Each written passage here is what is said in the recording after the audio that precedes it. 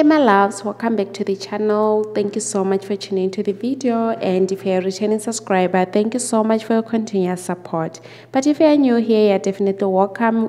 Do the right thing by joining the family by clicking on that red subscription button down below. It's absolutely free. So you guys in this video we're looking at the teasers of the queen for this week. On monday the 18th of july majali and Cebelihle vow to deal with Harriet after Mbambatha's lobola negotiations Hector confides in Thando about his true feelings for Vuyiswa, while on Tuesday, the Lobola negotiations are high event for Bayanda forces Njekejeke's hand, while on Wednesday, Harriet is devastated by the fact that her fairy tale is slowly slipping away.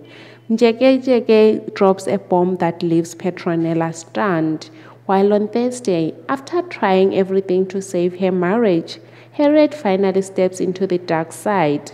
With the season finale ending this week on Friday the 22nd, celebration and sorrow, blood is shed at Thando and Mbambatha's engagement party. That's it guys for this week and the season finale of The Queen. Thank you so much for tuning into this video. Please do give it a big thumbs up and also don't forget to subscribe so you don't miss any of these updates.